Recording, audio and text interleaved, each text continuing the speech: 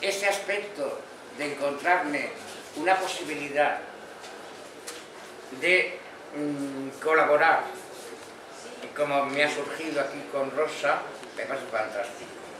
Ya, por parte de Isabel, pues desde luego ha sido un testimonio de amistad, mm, ha hecho un esfuerzo por venir, ha hecho un discurso precioso y bueno, ya eso no necesita comentario. Pero para mí, desde luego, ha sido una alegría inmensa el encontrarme con esta solidaridad y luego encontrarme con que con los que estáis, ¿no?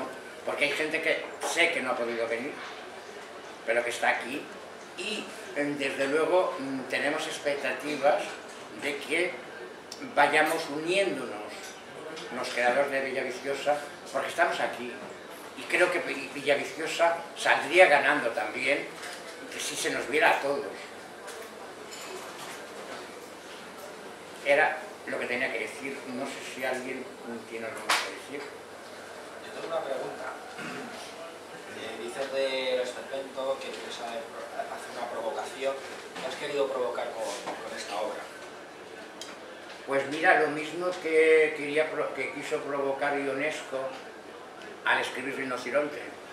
O sea, eh, Rinoceronte es una obra que está presentando la banalidad de la vida rutinaria eh, en París. Hace falta algo extraordinario para que el ambiente cambie. Y en este caso, claro, es la aparición de Don Juan. En cuanto que nos encontramos en el feudo del, gaitero, pues yo creo que no hace falta explicarlo mucho porque lo sabemos todos. Entonces, nada, que mejor que el rumano eh, pues eh, traiga Chanel y eh, la de Kiko, etcétera, etcétera. Que todos nos vendemos. Estamos en una sociedad en la que, como decía yo, me imagino que es lo que nos pasa a todos, pues estamos cada vez más agobiados por las tarjetas de crédito, por las facturas de, la energía que ya no sabemos a cuánto nos va, nos va a venir, por la estabilidad del trabajo, por, estamos todos completamente atrapados. Entonces, ¿qué es lo que quiero mostrar? Pasando algo extraordinario, ¿eh? estoy mostrando que todos nos dejamos corromper, empezando, como lo he reconocido, con mí mismo. Y mm, es una corrupción que en el fondo no hay corrupción, es legal. no sé cómo explicar. Es decir, si aquí viene un millonario y está forrado de millones y dice que se trae todo de Madrid, no le vamos a decir que no, porque hace falta inyectar dinero en la ciudad, ¿no? Pero a nadie se le ocurre pensar que Tani y Al tengan derecho a amarse como se amaban. Y tengan derecho a tener su vida, ¿no? Porque viene el cabrón este, que había abandonado a su madre cuando estaba preñada ¿eh? y entonces puede ejercer el derecho de paternidad y decir, ah, tú te casas, y ahora esto, y ahora tal. Eso pasa. Y sabemos que pasa, precisamente acaba de salir una ley con respecto al aborto, en la que mm, personas que no hayan cumplido 18 años eh, tienen que tener sus padres, etcétera, cuando normalmente es un dramón, pero quiere decir, claro, cuando se hacen las leyes no se contemplan los derechos. Es decir, Tani Yan tiene 17 años, ¿no? Mm, ¿Qué les puede prohibir a más? El hecho que aparezca un millonario eh, cargado de dinero negro. ¿Qué es lo que quería mostrar? O sea, en realidad no quería mostrar nada solamente es presentar un prisma en el que mm, pues aquí todo se compra y todo se vende. Y claro, insisto, esto lo puede comprender cualquiera porque esto no es que, pase, que pasaría en Villaviciosa, pasaría en cualquier sitio. Porque estamos en una sociedad que funciona con dinero. Y entonces ya, bueno, el derecho al amor eh, de la gente o el, aconsejaría abandonar a una señora embarazada simplemente porque no le gusta el perfil, eh, es algo que existe. ¿no? O sea, normalmente el esperpento es una pena que poca gente conoce a Valle, ¿no? Eh, pero eh, es muy visceral. Yo, claro, tengo mucha vinculación con el esperpento, hasta incluso hice mis pinitos en teatro, eh, representando el papel de Vaca Rabiosa en Sacrilegio, que fue un desafío, porque era, es muy duro actuar en el esperpento, ¿no? Y luego, pues para mí, eh, cuando Valle escribía el esperpento, ¿qué es lo que quería demostrar? Pues lo que es. ¿Qué pasa? Que para verlo hay que poner enormidades. Claro. Porque el esperpento lleva enormidades. ¿Que eso no tiene nada que ver con Villa Viciosa? Por supuesto que no. Porque eso puede pasar en cualquier sitio. Y yo creo que sí que es importante hacerse planteamientos de este tipo, porque ahora mismo estamos en un tipo de sociedad en la que, como todos estamos agobiados y atrapados, cada uno a lo suyo. No sé si me explico.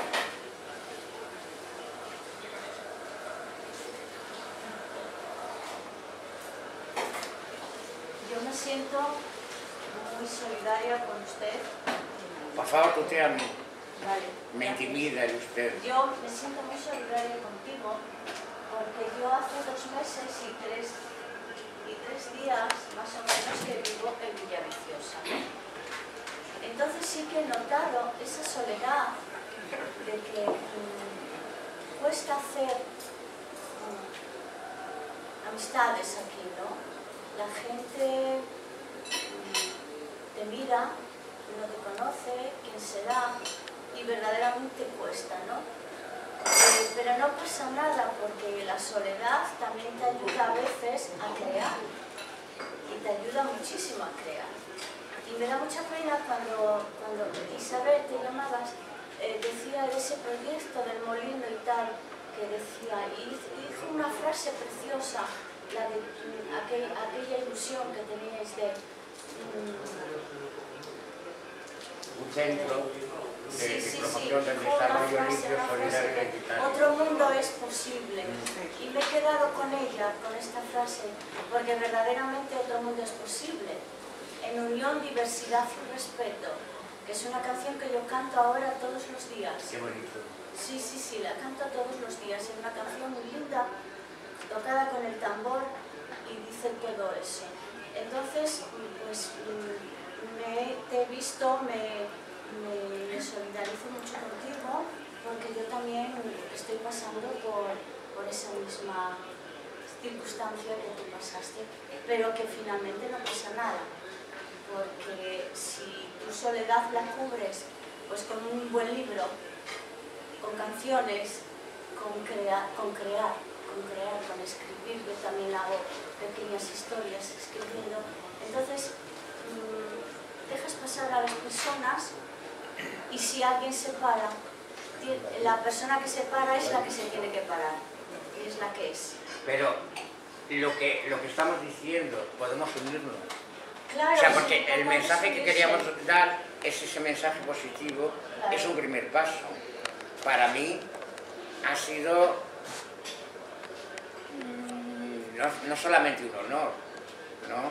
Eh, es calor, el calor ese del alma que dices, hombre, aquí no estamos solos, ¿no? Y yo creo que eh, estoy completamente de acuerdo con lo que has dicho, que por una parte es positivo, mm, yo no había creado tanto como he creado en Villavicioso, es decir, eh, he publicado cantidad, mm, tengo cuatro novelas ya terminadas, pero es que eso no es sano, porque el ser humano no puede estar encerrado.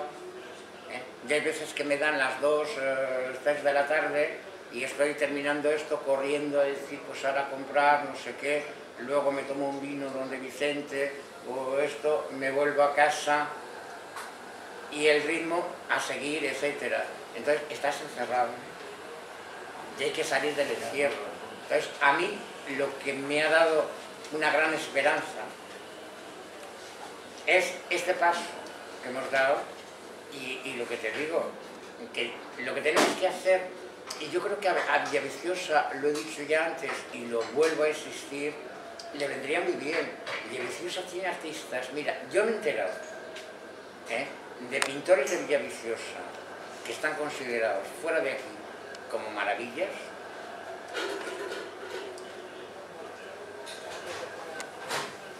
Bueno, bueno hay, eh, muchos, ya los conocemos prácticamente todos. Entonces, entonces a, mí, a mí, por ejemplo, eh, estando fuera de aquí, y me hablan de, oye, pues no sabía. Entonces, eh, hablando de Pepe Cuadra, pues se lo comenté. Y dice, mira, a mí no me extraña. Dice, porque cuando mis hijos iban a la escuela, en el apartado este que pone profesión del padre, lo dejaron en blanco. Y le preguntó, y les preguntó por qué. Dice, es que no sabemos qué poner. Dice, porque es que tú o bien estás en el jardín haciendo cosas, eh, haces la cocina, a veces pintas, ¿y qué ponemos de profesión? Y es un pintor que cuando sales de aquí te dice sapo, ¿no? Y podríamos dar cantidad de ejemplos, ¿no? Aquí hay mucha gente que hace cosas eh, bueno, aquí por ejemplo este mismo bar, a mí, la primera vez que entré, me sedujo, Eh, hay tiendas, es de los pocos sitios del mundo en los que tienes tiendas humanas todavía, las tiendas de toda la vida. En otros sitios son de indios o de chinos o de no sé qué. Aquí tienes todavía ese tipo de tiendas. Yo ahora pienso, por ejemplo, en eh, la joyería jurado, me parece que se llama. Ahora ha cambiado la decoración, pero la primera vez que entré allí... ¿Mm? No, eh, Arce, Arce, sí. Eh, la primera vez que entré allí me quedé fascinado, ¿no? O sea, porque un tipo de tienda que tenía una humanidad, todo esto, y hay una calidad de productos. O sea, hay una tienda aquí cerca, por ejemplo, mi madre compraba, mira que era exigente, ¿no? Cuando esto, compraba y decir, joder, qué tiendas más buenas tienes, ¿no? Hay cantidad de cosas muy valiosas, no solamente el paisaje, que también está ahí, claro, ¿no? Y ya no hablemos de arte. Pero es que yo creo que nada de eso se valora en Villaviciosa. Por ejemplo, formamos parte del Camino de Santiago, ¿qué poco se utiliza? ¿Eh? Cuando en la Edad Media el Camino de Santiago estuvo moviendo la economía europea. ¿Eh? Aquí es que no hay ni siquiera un albergue. Eh, tenemos el arte románico pues, de lo más conocido mundial, mundialmente, no, no se valora. ¿no? Tenemos artistas, no se valoran o sea, es una pena, ¿no? Pero unámonos para que se nos vea. Porque tu libro, verdaderamente al final, con el esperpento es una reflexión también. ¿Perdona? Que, que tu libro, a través del esperpento, nos deja la reflexión, ¿no? Mm, para el que sea sensible. El que no, o sea, eh, vamos a ver, el esperpento, yo ya me gustaría ser Valle Inclán, ¿eh? ¿eh? aspiro, aspiraría, pero bueno, ¿no? Lo bueno del esperpento es que es rompedor, hace reaccionar, ¿no? Y entonces, eh, mm, desde luego denuncia una sociedad, ¿no? Eh, por ejemplo, el asunto de de los recortes, etcétera, etcétera, en realidad es lo que mueve todo. Y eso es una realidad, que lo queramos o no, es una realidad, que lo tenemos ahí. Entonces, claro, el que quiere reflexionar puede, aunque le sea indiferente, pues... Pero en todo caso yo creo que todo el mundo se puede divertir. ¿eh? porque es divertido. Gracias. No, gracias a ti.